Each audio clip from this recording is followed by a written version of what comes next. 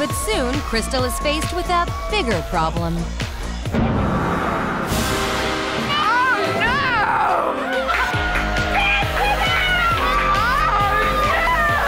I am not sure who bribed the fat ass to be my stripper. I wanted to throw up, and I wish he would just put his clothes on. And perhaps it was the beer bong goggles Krystal! Fatty's smoldering come hither glare. But hey, a girl is entitled to change her mind. What did you just do? I may or may not remember licking his.